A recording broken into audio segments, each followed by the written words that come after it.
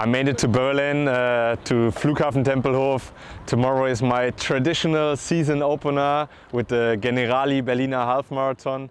I'm really looking forward after a long winter to, to get things started again. The legs feel good. I hope uh, I'll have a good race. I'm really looking forward to it. Can't wait. And uh, yeah, let's see how it goes.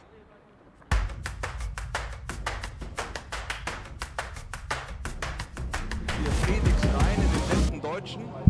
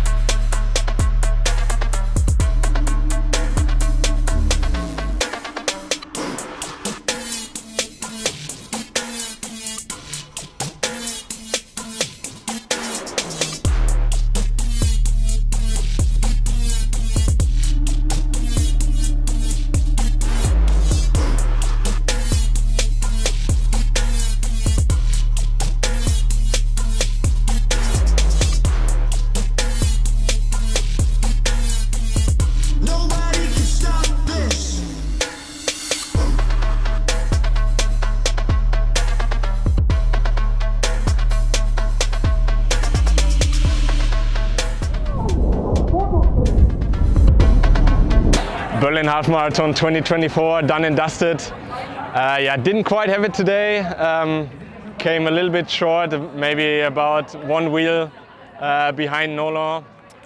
Not the worst guy to lose to, multiple world champion, uh, really fast finisher. Uh, couldn't get, quite get rid of him. Um, nevertheless, uh, I felt good. So it's a successful start into the season. Tomorrow evening I'm flying to China for the next event, the Shanghai um, World Cup. And um, yeah, I hope you enjoyed the live uh, footage from the race. If you want and need more of this, then please let me know in the comments. Also let me know which of the team members should uh, wear the helmet camera for the next event. See you soon.